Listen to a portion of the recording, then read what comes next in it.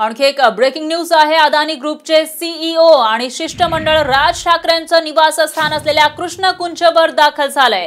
वाढीव वीज बिलाबाबत मनसे अध्यक्ष राज ठाकरेंशी चर्चा करणार असल्याची माहिती आहे. तर मनसेच्या आंदोलनानंतर अदानींचं शिष्टमंडळ कृष्ण कुंचवर दाखल झालं आहे. राज ठाकरेंबरोबर त्यांची सुद्धा महत्त्वपूर्ण चर्चा सुरू आहे. जर वीज बिलाचा कमी केलं नाही तर मनसे अधिक आक्रमक होईल असं सांगण्यात आलंय. अदानींबाबत आजवर मनसेनं अनेक आंदोलनं केली आहेत आणि त्यामुळं ही चर्चा महत्वाची मानली जाते दरम्यान लवकरच अदानी वीज बिलाबाबत निर्णय होईल असंही बोललं जात आहे तर लॉकडाऊन दरम्यान अदानीचे अदानी कंपनीकडून मोठ्या प्रमाणामध्ये वीज बिलं पाठवली जात होती.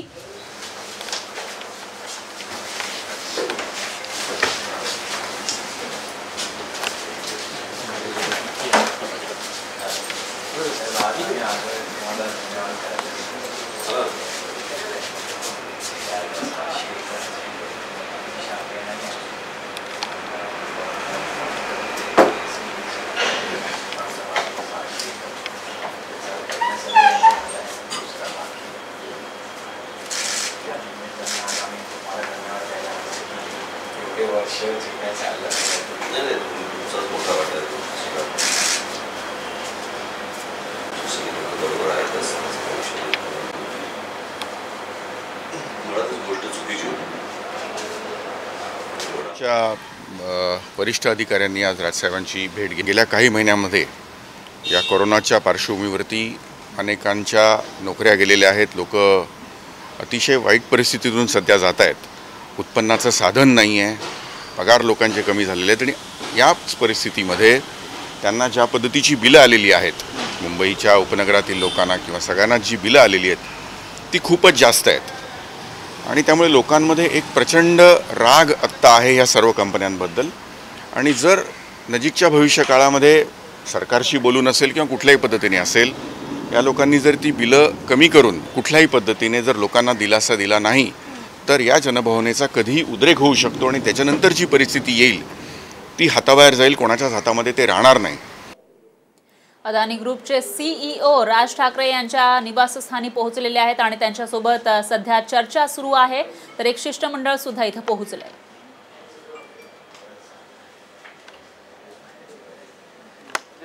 आमच्या मित्र जुन्या मित्रांसोबत होती.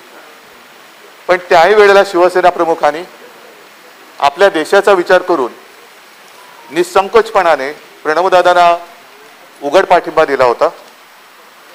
आणि मला आठवतंय की त्यावेळेला प्रणवदादा हे पवारसाहेबांसोबत मातोश्रीला आले होते घरी आले होते. मी आजपर्यंत म्हणजे एकूण त्यांच्या आयुष्यात मला त्यांना भेटायचे दोनदा दोनदा दोनदा आणि एकदा सगळे आपण पाठिंबा द्यायला गेलो होतो राष्ट्रपती भवनात. तेव्हा तीन वेळा ऐकून मी त्यांना भेटलो.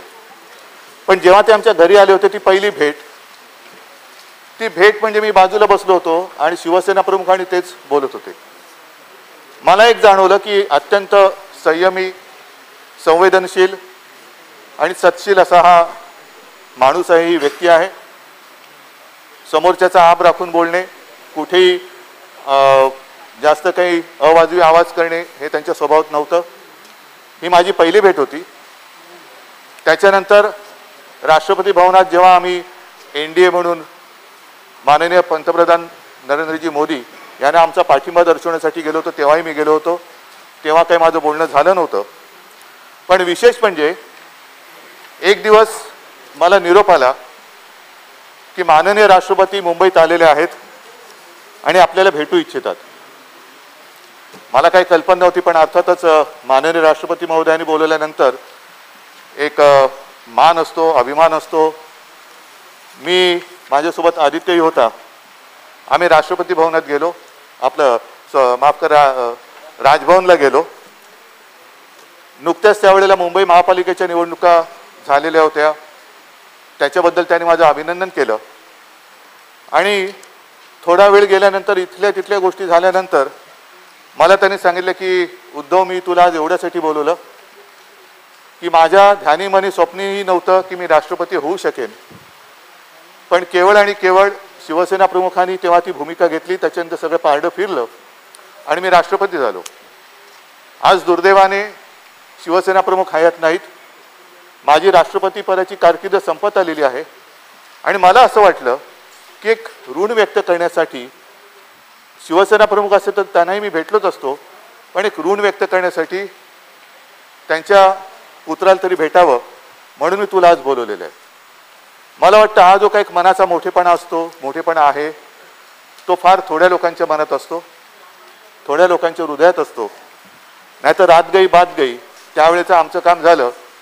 एकदा का खुर्चीला चिकटलो का तुम्ही कोण आणि आम्ही कोण? तसं प्रणवदादा नव्हते.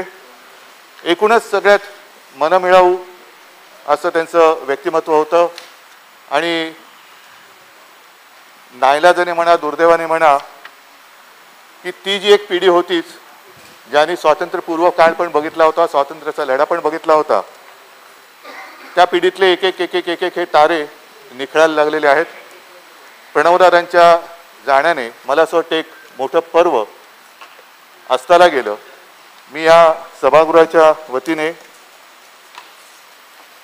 भारतरत्न पद्मविभूषण माननीय आपल्या भारताचे माजी राष्ट्रपती प्रणवदादा यांना श्रद्धांजली वाहतो.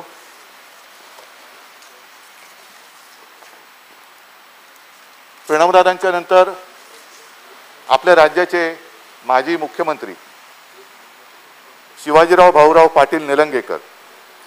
हे सुद्धा आपल्यातनं गेले. शिवाजीरावांचा आणि माझा तसा तरी परिचय झाला नव्हता किंवा भेटसुद्धा झाली नव्हती. एकूणच त्यांच्याबद्दल ऐकून आणि वाचून मला माहिती आहे.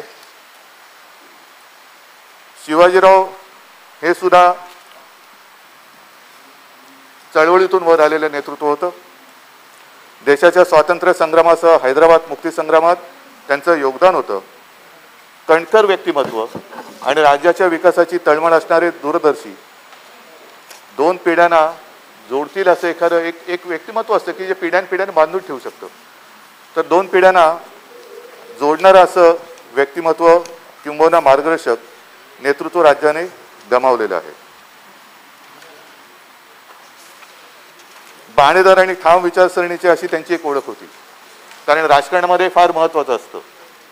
मतं असतात मतं व्यक्त करत असतो पण त्या मताला सुद्धा काहीतरी एक महत्त्व असलं पाहिजे. मतं असणं आणि मतं मांडणं या दोन्ही गोष्टी महत्त्वाच्या असतात.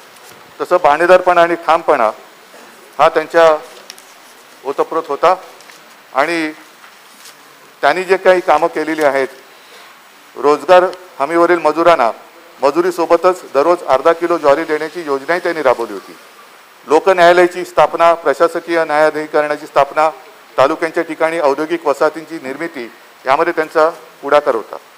लातूर आणि जालना जिल्ह्याची निर्मिती संभाजीनगर म्हणजे औरंगाबाद येथे उच्च न्यायालयाचे खंडपीठ स्थापना यातही त्यांचे योगदान होते. मुंबई शहराच्या समस्या सोडवण्यासाठी सुद्धा ते पुढाकार घेत असत.